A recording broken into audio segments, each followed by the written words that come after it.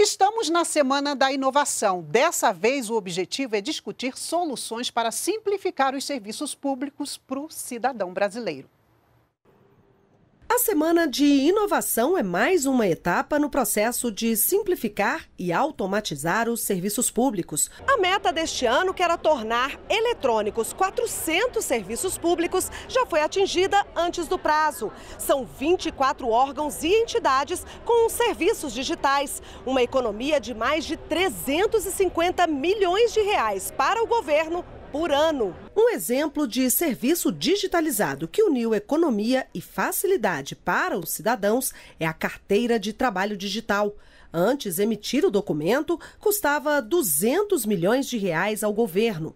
Hoje, esse custo baixou para 31 milhões de reais. E agora, o novo empregado não precisa mais apresentar a carteira em papel.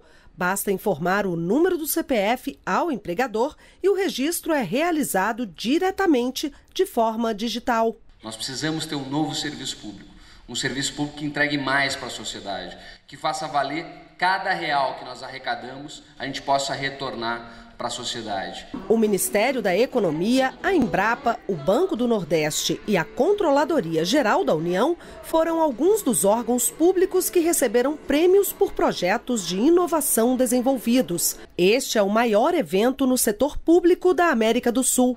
A gente tem tudo nesse país para se transformar em um dos principais, dos protagonistas no planeta e trabalhar junto com os outros países.